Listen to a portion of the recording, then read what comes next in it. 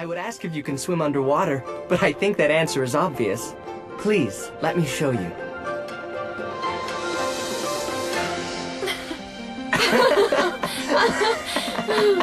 She became enchanted with this new world. Oh!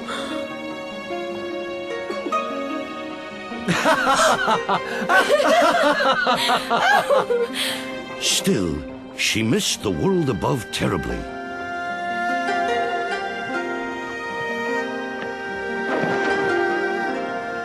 What is it, my friend? Just reminders of what I left behind. Shen Shen, come with me.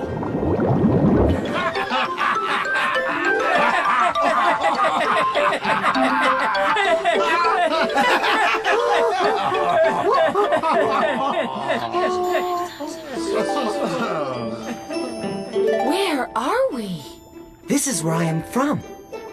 Shen Shen saw the fish with their families and realized how much she missed her own.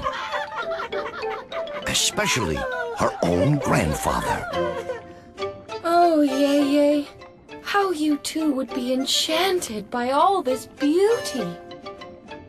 Kello, your home is wonderful, but I I wish I could share what I see with those I love.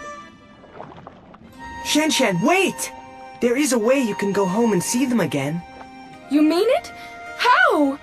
And this time, I'll show proper respect to Ye Ye and all my ancestors. But, But what? but if you go back to them, you can never live underwater again. Or be with me. This is getting good. What did she do? Oh? I can't seem to remember. Tell tell me, please. Such a curious kitten you are. Oh, yes. Shen Shen had a terrible choice to make. On the one fin, she missed the family she left on land. But on the other, her new fish friend was so good to her and had so much to share with her about this new life. And one day, she noticed a change in herself. Last one to the shallows loses. No fair! You're a natural swimmer! So are you. Look, My paws, they're webbed! like a frog's. So strong for swimming. And my tail, look! See how you can twist and turn in the water? A goldfish would envy it. I am both cat and fish. How strange! How wonderful! I wonder if. Would you become part of my family? Will you marry me? Your family? Marry you? Oh, yeah. What is it? To join your family, I must give up my own. Her choice weighed heavily. There was just one voice who could offer help. I'll be back, I promise.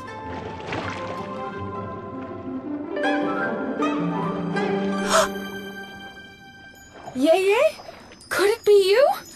I've missed you. And I missed you, my child. But I am not here alone.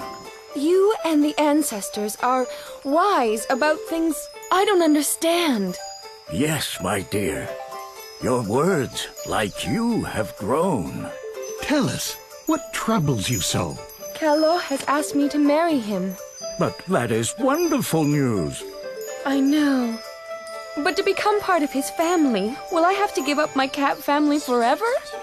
She says you can never get rid of something that makes you who you are, even if you wanted to.